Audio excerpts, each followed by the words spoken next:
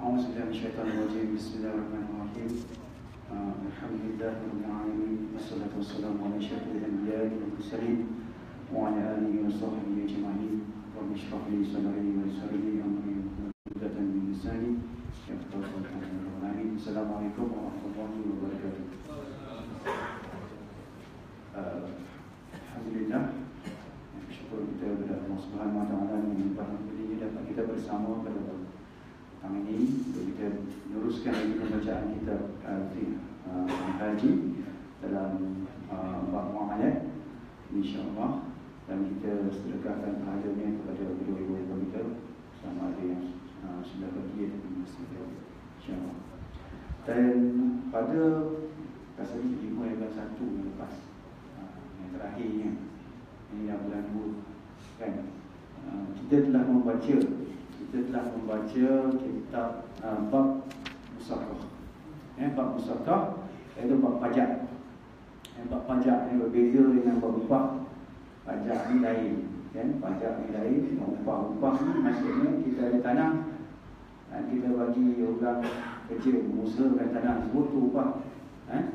Tapi kalau pajak ni kita ada tanah dan ada juga tanaman di situ orang jaga. Ha, kita ini orang yang ha.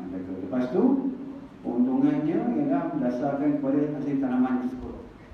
Berapa hasil tanaman tersebut sebagai contohnya kita bersetuju untuk bagi 50 50. Ha, jadi hasil keluar nanti kita bagi 50 50 ya ha, itu musafah okey jadi hari itu kita dah baca uh, sampai muka surah 292 ya betul ya ada yang siapa boleh. Hmm? confirm kan? 292 tak salah saya. Syarat-syarat sah kontrak untuk yang bahagian sub, uh, subjek. Dia ada enam rukun ya, dalam bab musafah ni. Rukun dia ada enam. Eh, yang pertamanya ialah mesti ada pemilik pemilik tanah tu. Eh? Yang kedua mesti ada pengusaha, usahawan tersebut yang jaga tu, kan? Ada macam juga lalu pengantin kena ada pengantin lelaki, kena ada pengantin perempuan. Kalau ada pengantin lelaki dia tak jadi, kan? Ha. Eh? Ha, yang sama juga dengan Nabi, kena ada pemilik tanah dan juga pengusaha. Ha, dan lepas itu mesti ada akad. Ya akad mesti ada. Dalam mazhab Syafi'i akad ni dia penting, eh? Akad. Ha, ini uh, afas dia. Dan ke yang keempatnya ialah apa bendanya, okey, iaitu subjek. Benda? Subjek yang itu yang yang keempat. Yang kelima ialah kerja. Apa kerja yang nak kena buat? Kan? Apa benda yang nak dijaga? Kerja ni apa? Kalau bab musafah ni ialah mengairkan, kan? Mengairkan dia bagi nak dia nak dia nak menyiram ha, menyiram tu kan itu kerjanya menyiram ha, jaga apa tu nak potong rumput dekat, dekat tanaman tu kan? Ha, itu kerjanya. Itu kerja. Dan yang terakhirnya hasil. Okay, tapi sekarang ni saya akan baca syarat-syarat sah kontrak untuk uh, subjek. Eh, untuk kerja. Eh, untuk kerja tersebut. Kita dah baca sampai yang ini. Dan syarat dia apa? Untuk kerja eh. kerja tu yang Maksudnya kerja yang dilakukan oleh usaha eh? Syarat yang pertama, eh, syarat sah dia Usaha mestilah diberikan kebebasan sepenuhnya untuk melaksanakan tugasnya Dia mesti ada free Free apa dia panggil tu? Uh, free otonomi ke macam mana? Bukan otonomi kan, dia free apa? Uh, bebas dia nak buat benda Takkan, maksudnya kalau kita kita ni pemilik tanah kita bagi syarat ni syarat ni syarat ni kan dia tak free nak buat kan dia sepati dia lah dia nak buat macam mana? Kalau dia nak nak, siram pokok cara dia backhand ke apa ke kan? Itu pulang kan? Ha, jadi dia mesti bebas untuk melakukan melaksanakan tugasnya. Dia juga mestilah diberikan kuasa penuh dalam penjagaannya. Dia mesti ada kuasa penuh lah untuk dia menjaga eh? Okey, maksudnya subjek kontrak iaitu tanaman mestilah diserahkan pada pengusaha sepenuhnya. Jadi kita kita bagilah tanaman itu yang jaga. Ya. Sepenuhnya supaya dia boleh bekerja pada bila-bila masa yang dikehendaki. Hmm. Maksudnya kita janganlah bagi dia contoh Okey, uh, boleh tengok tanaman ni waktu malam ni siang tak dapat. Ha, itu boleh. Ha, dia tak free ya. Patut siang boleh nak beli. Ini tu tengok malam dia. Okey, jika boleh bekerja pada bilik masa yang dikendakkan, okey, jika kebun tersebut disyaratkan mesti berada di bawah jagaan pemilik, okey, meletakkan syarat pekerja upahannya akan turut ditempatkan di situ untuk melakukan kerja-kerja tertentu, kontrak tersebut sah. Ha, tapi kalau masalahnya pemilik juga okeylah, boleh bebaskan tapi nak tetap bekerja. Ha, bekerja pemilik kan. Ha, so itu boleh. Ha? Ha, so itu boleh. Okey, yang kedua, beban kerja yang mesti dilakukan mestilah diketahui secara umum oleh pengesuh. Beban kerja tu dia tahulah kena siang pokok, kena apa ni, kering rumput dan sebagainya, baju dan sebagainya tu dia, dia dah faham, dia dah tahu. Eh? Ini dilakukan dengan menyebut tempoh pada kebiasaan tanaman mengeluarkan hasil dan berapa lama ia boleh bertahan untuk dipetik. Eh? Kadang-kadang ni tanaman ni kita tak tahu dia ada musim-musim dia betul tak eh? Dan musim durian, hutan durian banyak ni, banyak kan. Dia tak tahu tak tahu kan. Kalau hutan, hutan semua dia orang hutan kan.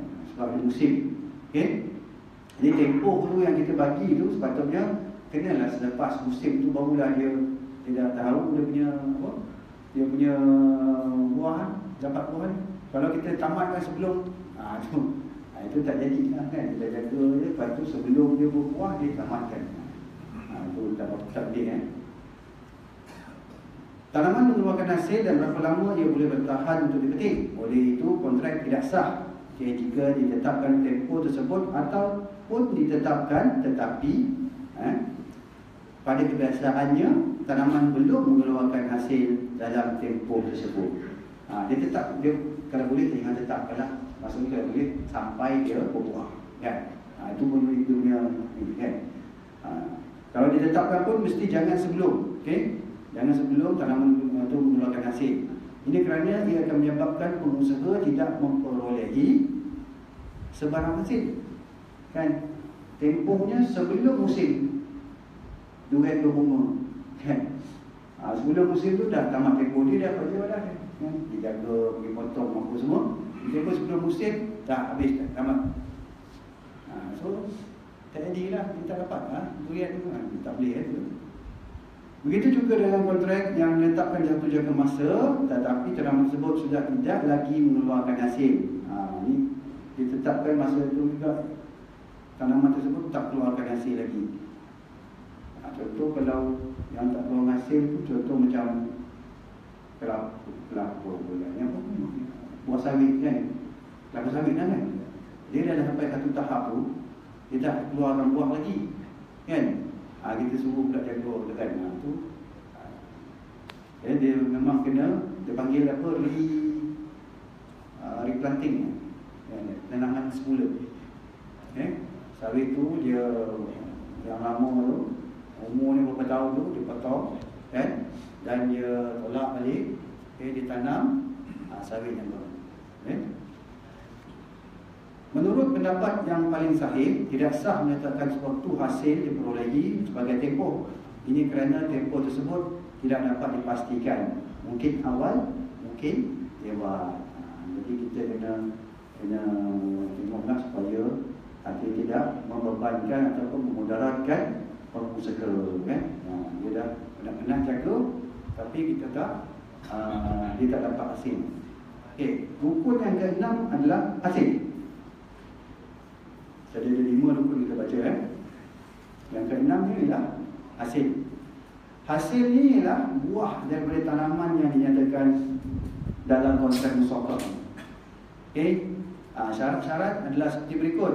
Buah ini mestilah hanya diperuntukkan untuk kedua-dua pihak sahaja, iaitu pemilik dan pengusaha. Ha, dia kena antara dua pihak je lah. So buah ni kita bagi dua pemilik pengusaha. Okay? Sebarang syarat untuk menyatakan sebagian hasil ini akan diserahkan kepada orang lain adalah tak sah. Maksudnya, tiba-tiba pemilik tu dia ada isteri dua orang. Kalau ada lah kan, dia cakap, okey, tolong bagi yang isteri pertama satu, isteri kedua juga dia minta tolong bagi itu dah, itu dah lain kan, itu dah kontrak lain. Okay? Ha, dia patutnya dia ambil bahagian dia tu bagilah kepada isteri dia. Ha, itu tak apa. Okay? Tapi kadang-kadang isteri ni dia lebih konservator dia nak juga bahagian. Kan? Ah, ha, dia campur tangan. Ha, itu memang berlaku. Memang berlaku eh. Dan reality ni memang ber, berlaku. Ha, morning sebenarnya. Tak seorang eh. Satu satu tu morning. Ini kan tak tu. Yang berubah ya. Saya pun tak ada, tak mandi dah. Satu. Okey. Sebarang syarat yang menyatakan sebagian hasil akan diserah kepada orang lain adalah tak sah. Ha, tak sah. Kan? Jika syarat ini wujud, kontrak tersebut dengan sendirinya terbatal. Ha, so maksudnya antara pengusaha dan pemilik iaitu dibahagikan. Ha, kena ada sebulan lain, bulan lain itu kira lah.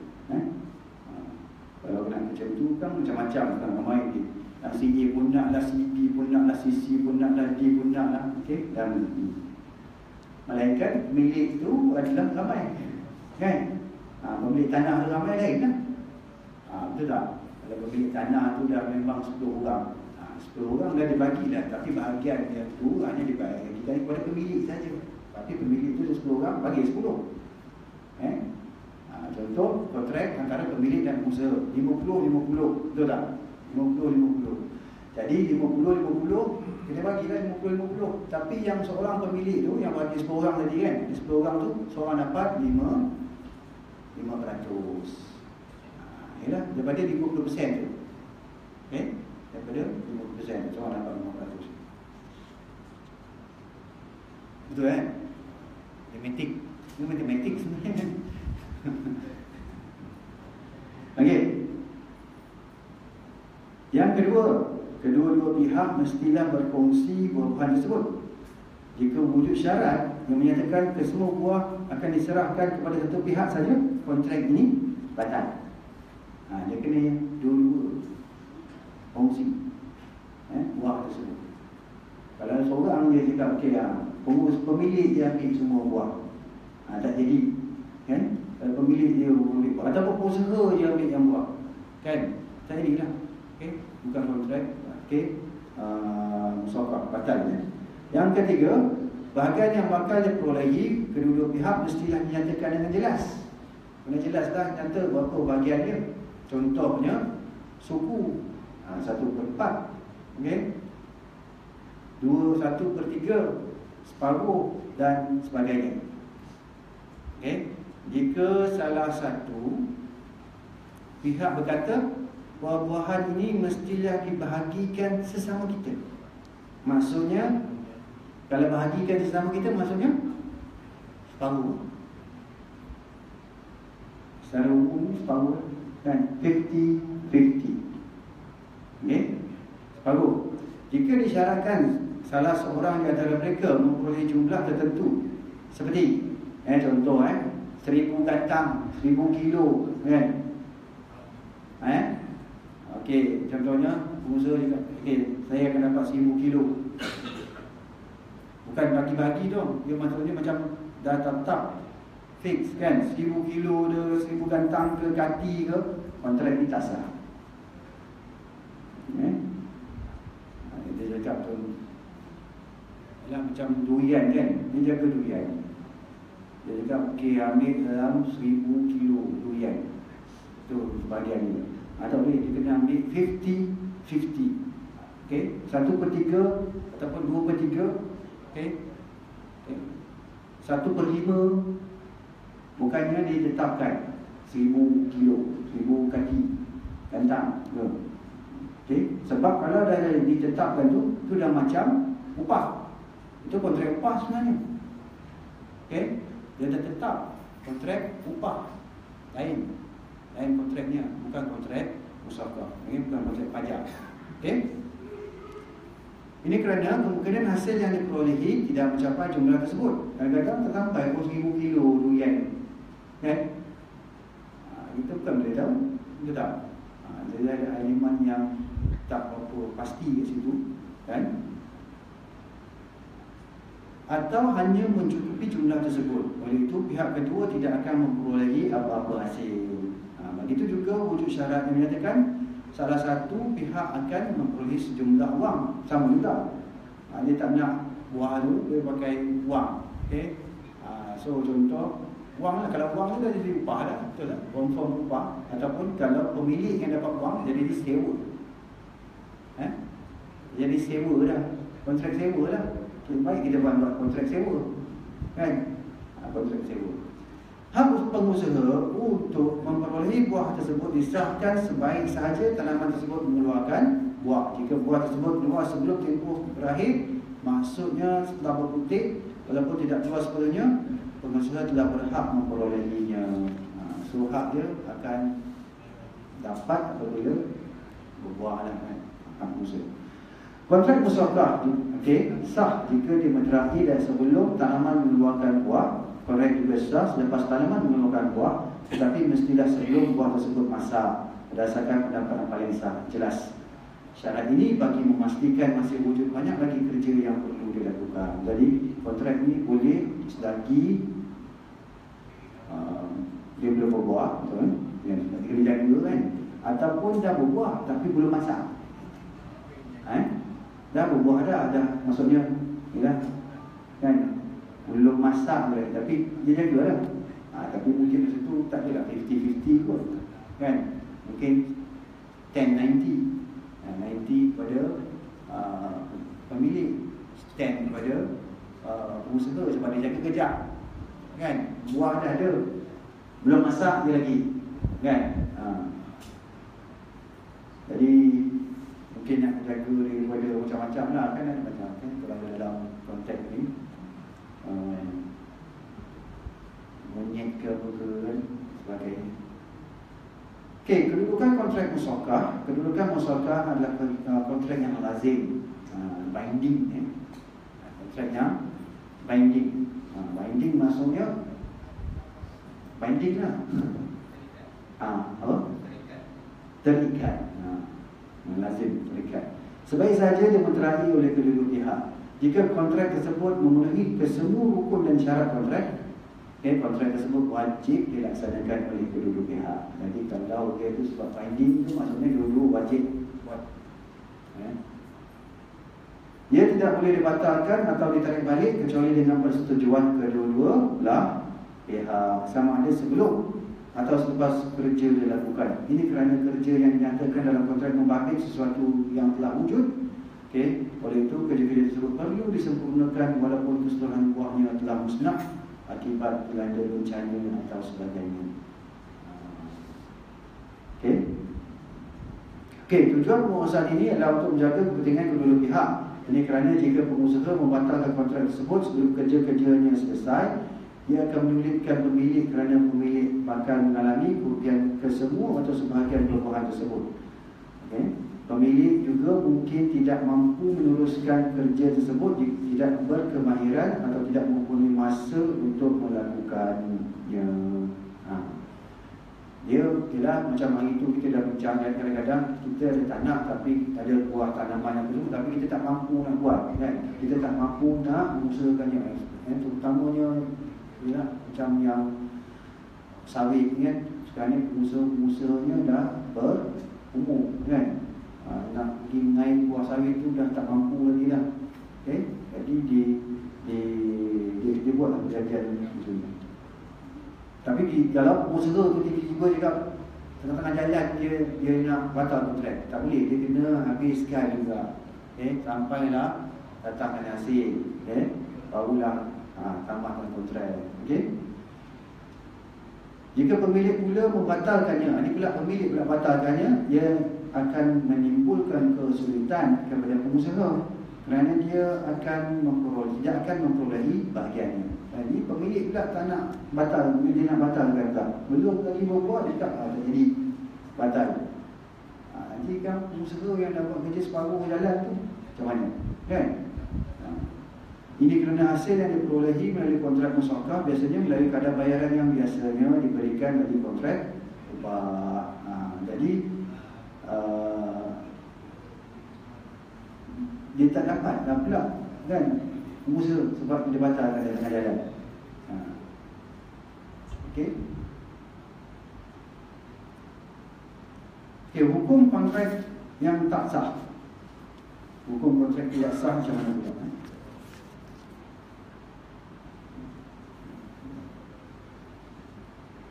Okey, semua hukum yang dinyatakan di atas, okey kalau ada apa-apa soalan daripada uh, online ni, dia boleh boleh uh, tulis di bawah tu. Uh, terus lagi. Boleh tadi online dia tanya soalan uh, hari tu saya tak tak perasan ada soalan dalam dalam apa tapi soalannya uh, tak payah jawab kan rasa punya main kadang ada soalan tu kadang-kadang soalan simple kan? Ha, soalan simple. Dia, tak, dia, dia tanya macam mana kalau apa tadi tu? Tapi kalau ada dua isteri. Kan? Ha, dah jauh dah dia punya tu. Dia sampai ke ada dua isteri lah dia cakap nak jawab soalan macam ni kan? Ha, tu susah sangat bagilah tu kan? Eh, ini dia kadang-kadang soalan ni lah orang-orang kat luar ni dia punya, dia punya pemikiran kreatif pemikirannya kreatif dan mempunyai angan-angan yang tinggi kan? Ya, kalau ada soalan boleh tolong uh, type dan juga saya nak beritahu yang belakang ni uh, ni bukannya dekat hilang ke apa-apa kan? Ini adalah surau. Surau Al-Islah Kota Seri Mas surau kan? Tapi sebab dia nampak dia nampak belakang ni macam plywood ni belakang ni. Ha, dia cakap apa tadi duduk mana? Ni dia ada yang tanya tu kan? Ha, kongsi mana lah kan. Ini bukan ini dengan dalam proses uh, renovation punya taraf. Uh, jadi yang kos yang diperlukan untuk punya taraf ni ini saya bagi bagi tahu juga lah kan tuan uh, berapa 150 sorry 350 eh. 350 sekarang ada? Nah, so kita memerlukan lagi sumbangan daripada uh, pihak-pihak uh, yang luar yang ingin uh, uh, mewakafkan uh, harta mereka untuk pembangunan surau Islam ni boleh lah eh? boleh uh, boleh cari uh, website dia Ah, okay. Ah, okay. Kita postkan dia punya tu ada nombor akaun dan sebagainya lah untuk untuk di, di uh, ada satu kawan saya dia buat uh, dia panggil jomdonate.com genjongdoni.com yang tu pun mungkin boleh di di di guna pakai tu dia panggil maksudnya kita dia macam nak nak kumpulkan duit untuk sesuatu program okey? Uh, kita boleh buat. Dan dia menerima uh, daripada public lah. Okey? Uh, jongdoni.com uh, di apa ni uh, diluluskan oleh Bank Negara Malaysia. Adakah saya di, yang buat Tapi cuma dia adalah uh, satu uh, badan bukan NGO kan dia satu badan enterprise ha. dia, dia ada komisen dia ha. okay? nanti saya akan akan tanya dia lah kalau, kalau tapi bergantung kepada surau lah kalau surau nak kita boleh buat coba ni perform okay? ha. okay. tadi kat mana tadi Ah, ha, ini. Ha, ini bukannya kongsi eh, rumah kongsi ni lah surau. Surau ini cantik sebenarnya surau ini cantik. Okey, uh, hukum kontrak yang tak sah. Okey, semua hukum yang dinaikkan di atas melibatkan kontrak musyawakah yang sah. Okey, yang tadi kita dah cerita ada hukum dia semua tu, tu sah. Tapi kalau kontrak yang tak sah ialah yang tak memenuhi segala rukun dan syarat, eh, itu tak sah. Jika mana-mana rukun atau syarat tidak dipenuhi, kontrak tersebut dianggap terbatal. Ini kerana uh, ini yang telah kami nyatakan dalam perbincangan sebelum ini kerana kami menerangkan berkenaan kontrak yang tak sah. Contohnya jika salah satu pihak menetapkan bahawa pihak kedua perlu melakukan sesuatu yang di luar tanggungjawabnya. Jadi pengusaha itu patutnya selalunya dia jaga ialah dijaga tanaman tersebut. Tapi ini tak dengan lain-lain pula kita semua dijaga. Kan? So jaga hantar anak sekolah lah apa semua. Ekstra kan? Ha, kan? Pagi-pagi hantar anak sekolah balik dia ambil balik apa semua ha, jadi itu lain. Okey? Contohnya eh? Jika salah satu pihak mengatakan okey? Pihak kedua perlu melakukan sesuatu yang di luar tanggungjawabnya bahagian yang diperolehi dan tagihan hasil yang tidak dinyatakan dengan jelas nanti sebagai contoh kita jelaskan berapa berapa berapa persen berapa persen. Tanaman yang terlibat bukan jenis berbuah atau sebagainya. Tanaman tak berbuah kan habisnya macam mana kalau tanaman tak berbuah kan? Ha. okay. jika kontrak tersebut jelas tidak sah semua buah yang diperoleh menjadi hak pemilik kerana ia hasil daripada hak miliknya. Kalau kontrak tak sah buah semua jadi hak pemilik kan? Usaha pula akan memperolehi upah yang sepadan. Ha, sebab kontrak tak sah ia jadi kontrak upah okey ha, kontrak upah yang sepadan lah dan setimpal dengan kerja yang telah dilakukan ini kerana pengusaha telah pun menjalankan kerja dan yang memerlukan ganjaran dan dia tidak terbuat secara percuma. Orang tak ada kerja secara percuma sekarang ni. Okay? Ha, dia lah yang sekolah lawan mungkin nak, nak kerja tapi sekali-sekala dia boleh tapi kalau setiap kali dia kena buat mungkin dia pun uh, tak suka dari dari kan. Okey, status pengusaha. Status pengusaha ialah sebagai pemegang amanah. Okey, ia ada amanah. Okey, pemegang amanah macam bank ni pun kalau kita simpan duit kalau bank Islam dia pun pemegang amanah sebenarnya okay? sebab tu kita panggil uh, al-wadiyah eh? al-wadiyah akaun al-wadiyah ataupun akaun dia adalah amanah oleh itu jika dia uh, mendakwa tanaman buah-buahan atau barang-barang lain rosak bukan disebabkan kecewayannya atau tidak dilakukan dengan sengaja pengakuan tersebut akan diterima jika disokong dengan sumpah. So, maksudnya tiba-tiba kan buah-buahan tu rosak dah apa dah terjadi kan tapi dia dah buat yang terbaiknya eh cuma memang rosak lah monyet datang ke apa ke semua kan itu bukan yang kecuali dia dah monyet datang ambil kan. Macam mana? Ha, jadi dia punya pengakuan tu diterima diterima eh? Diterima bila dia cakap sumpah sumpah ha, dengan pengakuan sumpah Eh? Begitu juga jika pemilik eh, pemilik menuduh pengusaha tersebut tidak amanah sebab ni kan kontrak macam amanah kan? Kalau pemilik pula cakap ah, ni tak amanah kan? Pemilik pula tuduh pengusaha tadi tak amanah eh? tapi dia tak dia menafikan kan pengakuan yang diterima jika disokong oleh sumpah pengakuan pengakuannya diterima jika disokong oleh sumpah kerana pemilik telah memberi kepercayaan okay, akan sentiasa diutamakan jika disokong dengan sumpah. So maksudnya kalau dia dah nafikan tu dia sokong dengan sumpah, ah, so dia dia dia, dia terima lah. Kan? Okay. Penambatan kontrak. Kontrak akan terbatal apabila tempoh yang ditetapkan tamat dan buah yang dimaksudkannya telah masak atau dipetik. Atau tamat kontrak dah buah masak tu petik, ya, patut kena bagilah. Eh, dia tamat kontrak dia.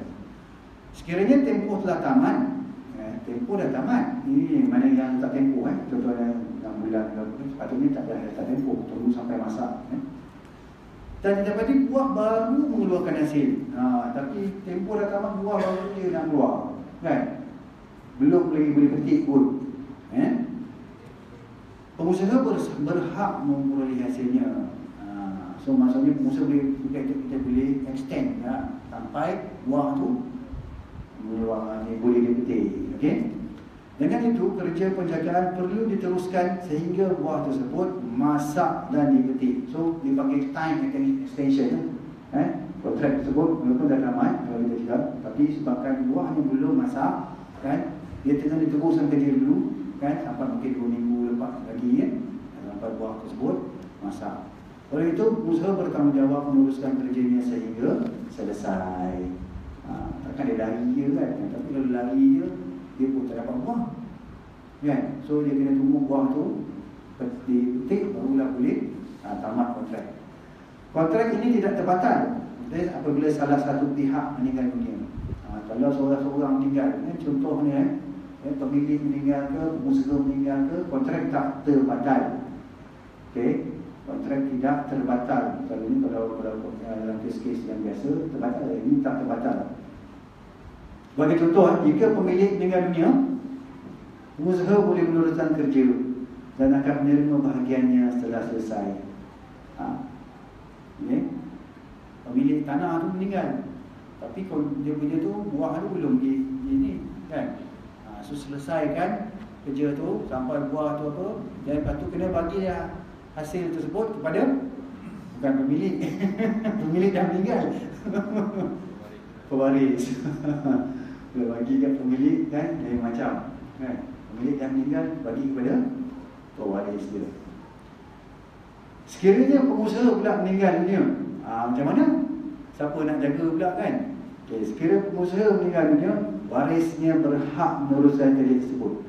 Waris dia tu boleh teruskan kerja, okay, sama ada bapa dia kan, untuk meneruskan kerja, jaga.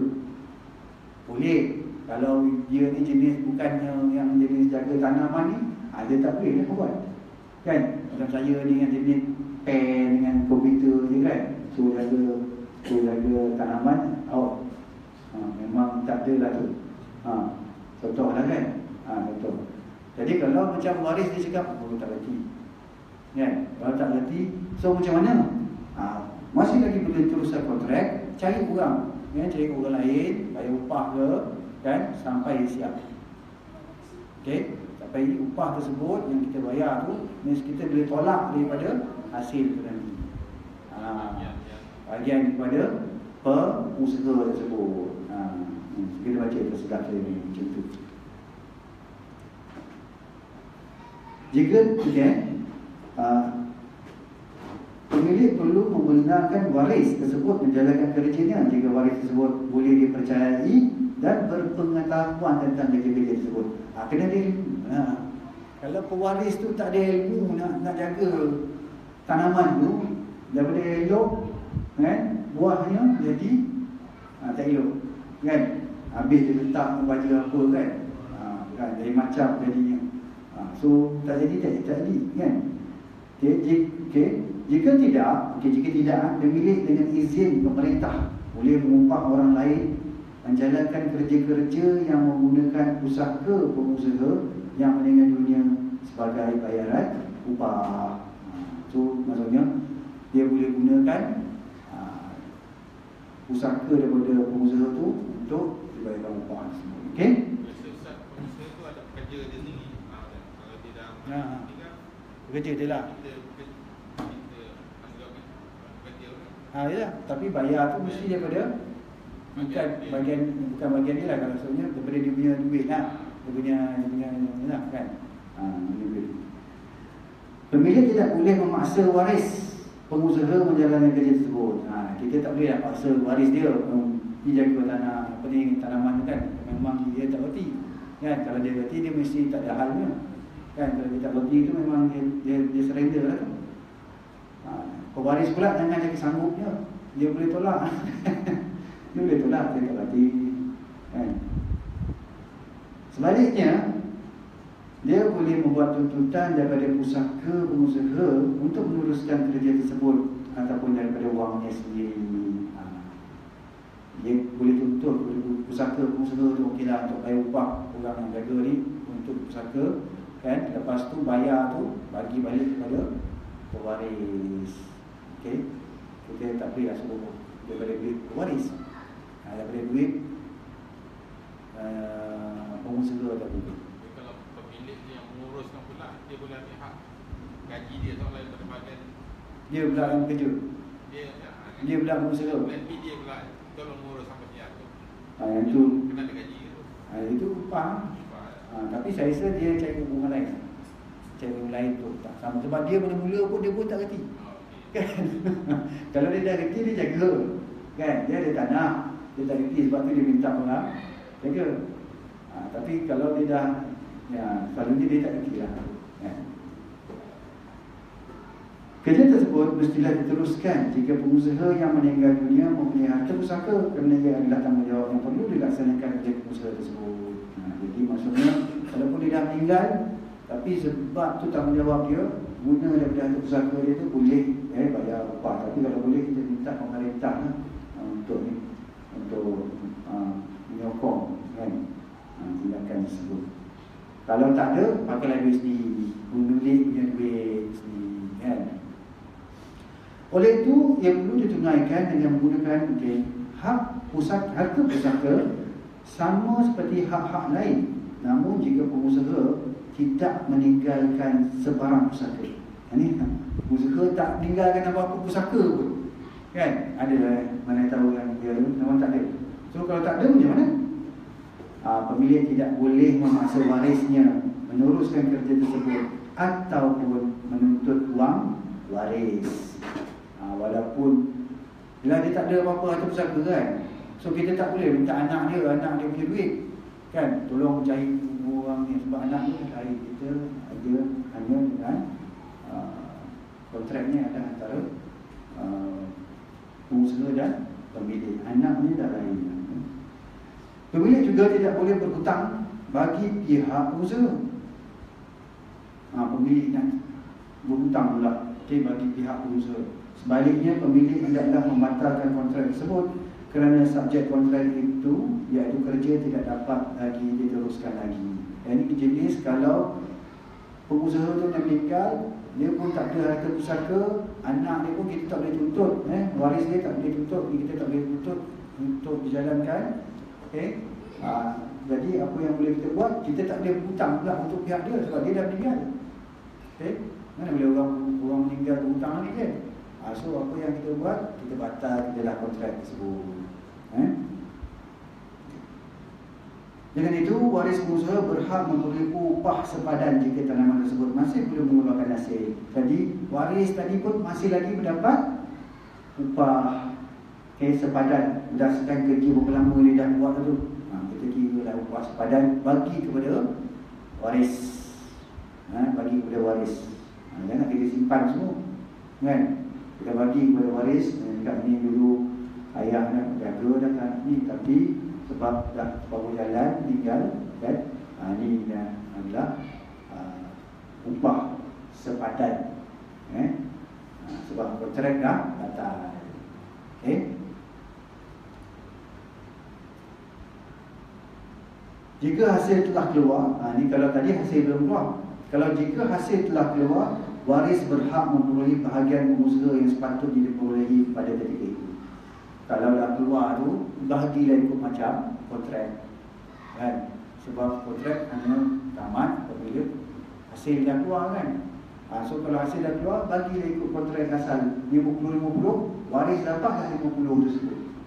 Jadi yang kalau tadi Kalau buah tak keluar lagi ha, Itu baru kita bagi upah Sepadan. Tapi kalau buah dah keluar Dah masak dah boleh petik Kita bagilah ikut persetujuan kontrak musafrah kita 50-50 dan bagi 50% tu kepada uh, warisnya okey. Kontrak tidak terbatal walaupun wujud pelanggan kontrak oleh pengusaha okey ini kalau ada pengusaha nak lari ya dan telah dan telah disahkan melalui pengakuan bukti atau sebagainya. Sebaliknya sebab seorang penyedia hendaklah dilantik bagi mengelakkan pelanggaran ini berulangkan kembali. Pengusaha tidak akan okay, disingkir daripada meneruskan kerjanya kerana kerja tersebut telah menjadi tanggungjawabnya dan kerjanya mungkin masih boleh diteruskan. Walau bagaimanapun, bayaran bagi penyedia ini akan ditanggung oleh pengusaha kerana dia menjadi kunci segala masalah ini. Ini kalau jenis pengusaha yang dari tengah jalan dari dari malam kan. Bila separuh jalan, dia tiba tak tahu saya pun, dia lagi kita nak kan kita nak jaga lagi. Jadi kita boleh latih seorang penyelia eh, untuk uh, untuk jagalah teruskan kerja tersebut. Okay, walaupun bagaimanapun sekiranya pelanggaran ini masih berterusan walaupun dengan kehadiran penyelia, kerjanya akan dihentikan serta merta dalam masa yang sama hartanya akan digunakan bagi membayar upah orang yang menjalankan kerja tersebut bagi pihaknya. Ini kerana dia tidak dapat menyelesaikan kerja tersebut sedangkan ia merupakan tanggungjawab. Ha, jadi dia still kena bayar juga. Kalau kita kita dia tiba-tiba tak boleh kan, dia tak nak dilai dilai. Okay. Kita boleh bayar orang lain untuk, untuk jaga bagi upah tu, tapi upah tu mesti dah di dah dilunaskan oleh pengusaha. Ha. Begitulah juga dengan masalah pengusaha yang lari. Ha, ini lari, ditahan atau sakit sebelum kerja-kerja diselesaikan. Dalam keadaan ini kontrak tidak akan terbatal Sebaliknya pemerintah akan mengupah seorang dengan pembelajaran yang ditanggung oleh pengusaha Untuk meneruskan kerja tersebut Namun langkah ini tidak perlu jika pemilik atau orang lain secara sukarela ingin menanggungnya. Ha. Dia sakit kan? Dia sakit kan tiba-tiba. Kita tak tahu kan, kan? tiba-tiba sakit kan? Jatuh daripada apa, dia jatuh dengan apa, tak patah kaki apa. Tiba-tiba uh, sakit kan? Aksiden apa. Jadi dia kena ikut uh, dasarkan ni dia kena teruskan itu kontraknya. Eh? Kena terus kontraknya tu sama ada dia kena bayar upah orang eh, untuk jaga. Ataupun kalau pemilik cakap tak apalah saya lah. Sekeliling. Atau orang lain pula cakap tak apalah saya tolong. Itu tak apalah dia kata tu sekeliling. Kan? Ha. So dia tak adalah kena buat tanggungjawab sekeliling kan? Dalam keadaan ini, pengusaha masih berhak memperoleh bahagian yang telah dipersetujui bersama. Ha, sebab ada orang lain sekeliling tolong, dia masih lagi dapat hak dia. Dan pemilik pula cakap tak apalah saya lah yang tolong. Ha, tapi still hak dia mesti dapat lagi. Eh? Hak dia tu untuk dalam uh, kontrak usaha. Okay, sekiranya pemilik tidak berkemampuan merujuk kes ini kepada pemerintah atau pemerintah tidak melayan kes ini, okay? pemerintah bulayan, kan? Bila kes bocik ni, kan? Pemilik boleh mengubah seorang untuk meneruskan kerja-kerja yang terkendala Walau bagaimanapun pemilik perlu mengumpulkan saksi bagi mengesahkan semua perbelanjaan yang dikeluarkan untuk kerja-kerja tadi. Ha, jadi contohnya mungkin dia tak boleh pergi ke pemerintah, dia kan tak boleh kuat ke apa. Kan? Pemerintah juga apa. So dia dia boleh juga still buat kerja-kerja tersebut tapi dia kena ada resit-resit dan juga saksi lah. Saksi yang menunjukkan yang dia telah lakukan perbelanjaan-perbelanjaan tersebut. So, semua perbelanjaan ini kemudian akan dikemukakan kepada pengusaha. Ha, kan semua tu perbelanjaan tu kita bagi tahu kepada usaha. Ha, kita ada saksi juga mengatakan inilah belanja yang telah di. Selalunya kalau resit tu kita ada sign ya, kan. Jika pemilik berjaya menggunakan saksi, dia berhak untuk pengusaha membayar segala perbelanjaan yang telah dikeluarkan jika tidak perbelanjaan tersebut dianggap sebagai sumbangan pemilik. Ha, jadi kita ada saksi, dia tak ada, dia jadi sumbangan. Kalau tak ada resit ke apa tu, dia jadi macam sumbangan lah eh? Jadi sumbangan dia tu ha, So kena ada saksi eh? Kena ada saksi Sekiranya pemilik tidak berjaya memenuhi pemerintah Atau orang yang boleh meneruskan kerja-kerja tersebut Sedangkan dalam masa yang sama Pemilik tidak mampu memudahkan kerja sendiri tersebut Dan pada ini pemilik berhak membatalkan kontrak Kerana kerja yang dia bersetuju tidak dapat ditunaikan Usaha pula hanya akan dapat berlepas padan bagi kerja-kerja yang telah dijalankan Jika tanah masih belum melakukan buah usaha hanya memperoleh nilai bahagiannya pada ketika itu. Ha. Kalau masa itu juga tak boleh buat apa juga kan, kontrak kena kena batal juga. So bayar upah dia lah kepada usaha. Selama mana dia dah macam dia bekerja tu, dia bayar dia upah dia. Ha? Ha, so yang ni sebenarnya ada je lagi iaitu pertelingkahan antara pemilik dan usaha lepas tu dah habis. Ha, ada satu satu paragraf je lagi ya. Saya minta izin untuk teruskan Ataupun macam mana azad dulu Teruskan ya okay. Saya teruskan ya Jika pengusaha ya, Pertelingkah ini bergaduh lah Antara pemilik dan pengusaha Bergaduh okay, bertengkar lah Jika pengusaha dan pemilik pokok Bertelingkah Dalam menentukan bahagian yang ditetapkan Contohnya pemilik kata Aku telah menetapkan bahawa kamu mendapat satu per tiga daripada beban tersebut. Manakala pengusaha pula menjawab, eh, mana pula? Separuh. Ha. Ini dia orang patutlah, patut ni kena, patut-patut ni tulis. Ha. Betul tak? Ini tak, dah ni bercakap je. Seorang pun agaknya Pak Mana tu yang tak berapa dengar kan. Sekarang satu per tiga, seorang lagi ingat satu per dua. Ha. Okay. Ha. Contoh kan. Okay. Dalam hal ni, kedua belah pihak disuruh bersumpah. Ha, sumpah dulu sumpah. Kan? Betul ke satu ketiga, yang ini betul ke satu kedua. Okay? Bersumpah untuk menthabitkan dakwaan masing-masing dan menafikan dakwaan pihak kedua masing-masing. Ha, dia kena sumpah Jika betul satu ketiga, dia bersumpah itu kan. Dan seorang lagi bersumpah satu kedua. Apabila mereka telah dua-dua bersumpah, ya, kalau dua-dua dah bersumpah, kontrak musyakah tersebut akan terbatal. kan? Um, batal. Dua-dua dah, dua-dua dah tak boleh nak ni kan Batal Maksudnya dua-dua tak dah bersumpah, dua-dua bersumpah So kontrak musyarakat batal So batal macam dia pun Jadilah macam balik upah eh? Betul tak eh? Okay, perubahan tersebut akan diberikan kepada pemilik. Manakala pengusaha pula akan diberikan upah yang sepadan dengan kerjanya. Jadi kalau pengusaha tu daripada dia dia tu baik dia cakap hmm, satu per dua dengan satu per tiga kan dia follow je lah. Mana tahu satu per tiga dia pun lagi banyak daripada upah je. Betul tak? Kan ha, upah mungkin dia dapat dalam seribu ke sebulan kan. So kalau dia kerja dalam sepuluh bulan sepuluh ribu. Tapi kalau dia ambil satu per tiga mungkin buah tu nilainya mungkin tiga puluh ribu. Kan? Ha, masa tu dia fikir ha, okay, kan? Nak sumpah tu nak ikut dia punya satu per tiga? Mula asal mungkin dengan satu per dua Fifty-fifty Kan? Ha, Lepas tu ada pertelingkahan Satu per tiga ke satu per dua. Sebab tak tulis eh, kontrak punya Secara Verbal Kan? Secara verbal. Eloknya bertulis. Ha, Ni kan macam mana ni dah ada Bertulis. Okay Dengan itu Kita dah ni ada soalan tak sebelum? Untuk bab yang seterusnya ialah sambungan kepada bab musaqah ini, bab tanaman juga iaitu bab muzara'ah dan mukharabah. Okey. Mukharabah itu bab tentang dia kalau uh, dia macam juga uh, jaga tan tanaman tapi dia ada elemen me, benih. Ada elemen benih. Ha, tadi dia jaga wah tanam pokok dia ada, jaga je.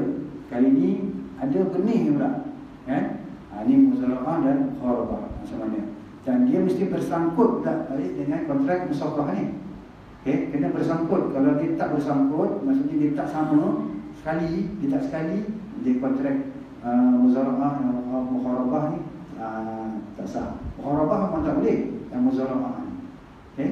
muzara'ah jadi contoh eh, untuk bang muzara'ah ni kita ada tanah okay? 10 ekar. 8 ekar kita tak punya tanah tu kita tanam sawit kan? Kita okey kita minta dia jaga pengusaha jaga 8 ekar. Tapi lagi 2 ekar ni eh, kosong. Kita pun cakap okeylah saya bagi benih kan okey untuk di ditanamkan satu uh, tanaman uh, dia tapi dia kena ikut kontrak musaqah dulu Okay. Dia dah ada lah kontrak musafah tu untuk jaga uh, sawit tu, 8 ekar, 10 ekar ada tanahnya. Tapi 2 ekar tu dia bukan tanahnya masing-masing kan. Mungkin tanah tu dia adalah sikit ni, sikit yang kosong, kosong, kosong, kosong, kosong kan.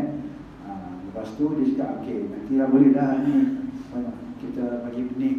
Kalau ni orang dengan dekat uh, sawit dia orang tanam apa?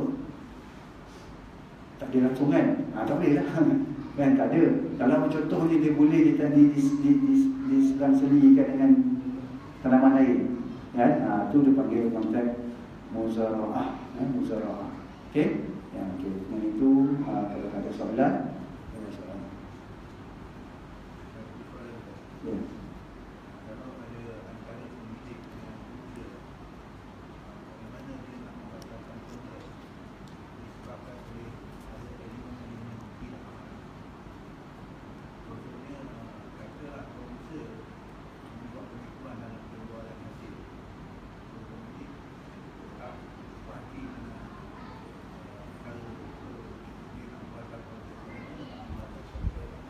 hasil. Macam mana boleh dibatalkan akan perbuatan yang tidak amanah oleh Okey, pertama macam ni, sebab kontrak tu bila hasil ada je, tamat kontrak tu tak? Bila hasil keluar je, dah tamat kontrak. So, next kontrak jangan ambil dia. Tapi uh, dia bukan sekali buat Mungkin uh, berlanjutkan berkali-kali Maksudnya bukan hanya sekali pengeluaran hasil daripada nafkah bersawit Ha, ha. Bulan uh, sekali Mungkin dia uh, serap kontrak tu tahun ke, tiga tahun ataupun uh, berapa panjang yang uh, dia nak lah. Tapi dalam masa tempoh uh, baru jalan Dia tengok macam uh, Monster ni tak amanah Tak amanah kan Dia macam ni lah Sebab kalau kita satu kontrak je Bila buah tu terhasil So bila buat tu terasa kita dah bagi dah tu, kita jangan renew kontrak lagi. Tapi selalu kontrak tu maksudnya ah, kita buat berdasarkan ikut ikut sekali setiap kali hasil. Okay, dia bukannya 10 tahun kan. Ha, tapi dia maksudnya berapa sekali dia berapa lama tu dalam untuk satu kali sebulan sekali selalunya. kan? Itu uh, kalau hasil uh, satu sari Ha. kita kita dapat bulan sekali Macam maksud kita uh, panjang banyak. Contohnya uh, uh, kalau kita ada tanah uh, kita bagi kontrak untuk usahakan ya. Kadang kita nak bagi jumlah dia ambil hasil Tapi kita Ah. tak duduk kat kampung Ha. Tak nak apa dekat kampung Serahkan dia usaha di kampung Itu uh, soalan saya uh, Kalau kita dapati usaha tu tidak amanah Kita dah bagi tu kita tanya dia tak? Kita suruh dia bersumpah tak? kita ialah dia tak amanah maksudnya hasil tu tak sampai kita pembahagian dia tak bagi kepada kita Pembagian tak bagi. nah, Dia tak bagi. ah, Kalau dia tak bagi tu dah maksudnya patutnya dia kena bertanggungjawab untuk membagi kan. kalau perjanjian kita 50-50 kata tadi kan tapi uh, dah sampai uh, 6 bulan uh, hasil tak pernah uh, tak pernah bagi pun serah kepada uh, pemilik contohnya itu Kenapa? ya sebab uh, tak amanah lah dia perjanjian patut dia pilih hasil bagi dulu kan Ha, tapi kadang-kadang kalau contohnya kan dalam dua kes tadi, kalau dia bukan disebabkan kecuaian dia, dia dah buat tapi hasilnya memang tak ada. Eh, ini memang ada hasil. Hasil ada. Memang ada hasil. Hasil ada tapi maksud tidak amanah dia tak serahkan. oh, dia tak serahkan bahagian tersebut. Ha, so kita kita kita kita, kita, kita terminate kontrak. Sebab dia tidak melakukan tanggungjawab, dia tidak dia tidak honor kan dia tak honor kontrak musyawakah tu dia sepatutnya dia kena bagilah kan? Kena bagi ikut ikut kepada uh, percentage tu 50-50 tu. Kalau dia tak bagi tu maksudnya dia tak dia memang dia tak menang lah. Kita janganlah renew kontrak sebab tu kalau boleh time dia dah uh, uh, kalau yang tu berapa tahun kontrak sebenarnya kalau untuk ke.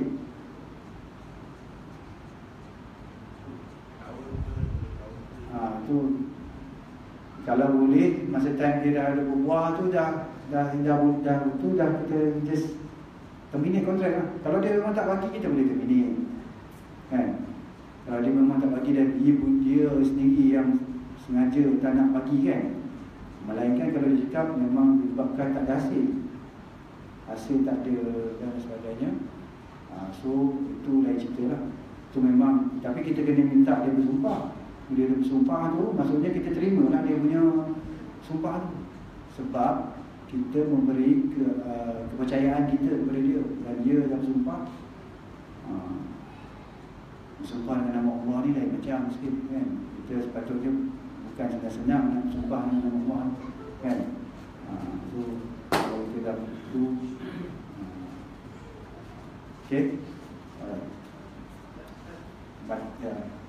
Eh, kalau hasil ni dalam musim kemudian tu mungkin baru musim musim ni habis musim maknanya habis kontrak lah Hmm. kalau betul betul sawit tadi kan kalau saya dia berbuah berbuah setiap berbuah Dia bila dia hasil yang ambil yang pertama yang muda akan berbuah lagi kan akan masak juga tadi Yang muda ke masak. Okey, Yang- ya ya ya. ya, kan. ya, ya. adakah kontrak tu dah katakan Ha. adakah ikut timing ataupun ikut Tahun. tahun Saya betul saya kontrak sawit ni saya pun ya, saya pun bukan kerti sangat buat sawit. Tapi saya boleh imagine dia ada contohnya satu pokok kan. Dia ada pokok tu yang buah muda buah muda dan yang ni. yang dah masak dah kutip satu, Ha. satu kali Okey, satu yang muda tinggal lagi. Patutnya kontrak itu masih kena berjalan ni lah. Ha. Ha. Tapi dia memang ter- memang sentiasa ke? Memang tak Throughout the year dia ni. dah jadi satu Ha? Sawit jenuh. Ha, ini saya kalau sawit tu kalau continuous maksudnya dia kerja ni sentiasa sentiasa je lah. lah Kan? Jadi sebab tu setiap bulan patutnya kena bagi. Betul. Setiap bulan dia dapat dia tu bagi. Setiap bulan dia dapat dia bagi. Tapi tak tahu lah macam mana praktis.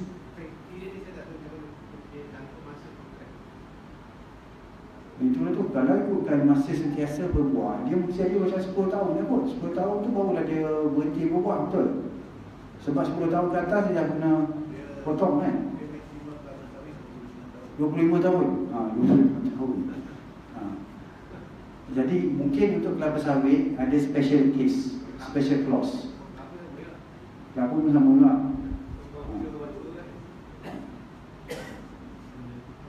Jadi kalau dalam kes macam tu Kita pakai upah lah Kita boleh guna upah Kita boleh guna musakah eh? Kalau upah Kita just upah orang Tapi fix dah upahnya Fix Okay, kita boleh alternatif eh, alternatif. Kalau yang yang musakah ni kita share, share the uh, hasil. Uh, so kalau kita rasa susah kita nak percaya ke orang, kita pakai upah. Ha, setiap bulan kita upah. Kan? Tapi kadang-kadang dia tidur, tidur upah pun dia masa apa nak pergi. Betul tak? Kan? Dia sebenarnya kalau sawit kita jaga apa? Ha, dia jaga, ada lah benda yang dia kena jaga kan? Ah, naik.